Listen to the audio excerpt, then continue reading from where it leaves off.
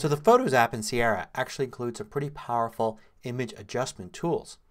If you go to a photo and then you click on the Edit Photo button here, you'll get a list of different tools you can use here. Go to Adjust and you've got three different sets of adjustments. You can click and move this line back and forth from just light, color, or make the photo black and white and do adjustments there. But you can also expand by hitting these little triangles here. I'm going to actually hit the one next to light and you can see I've got individual controls for brilliance, exposure, highlights, shadows, brightness, contrast, and black point. In this video I'm going to focus here just on highlights and shadows because I find them to be fascinating particularly when you have a photo like this. Highlights will basically take the lightest part of the photo, the brightest, lightest part. So in this photo it would be mostly the sky here and a little bit of the clouds. Uh, and it allows you to adjust them. Shadows does the opposite. It takes the darkest part of the photo. And you notice here I've got this group of trees here on a ridge and it looks just all black there.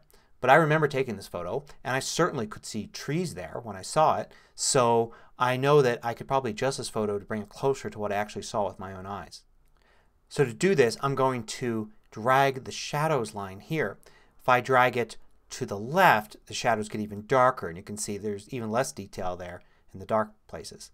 But if I drag it to the right you can see it increases the detail without changing the sky and the clouds very much. Just increases the detail in the darkest places and you can definitely see that there are trees there now.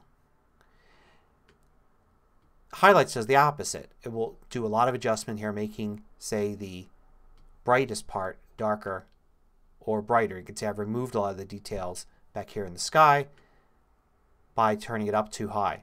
So I could probably do some nice adjustments by turning down the sky a bit and turning up the dark areas so I can see more of what's here. And the photo is definitely looking a lot closer to how I remember it when I do this. Let's go back to the original here. And I'm actually going to use the slider here at the top which will adjust all of these together analyzing the photo and trying to figure out what to do with it. And it turns out when I move this to the right here notice it turns down the highlights moves up the shadows. So it determined the same thing that I did.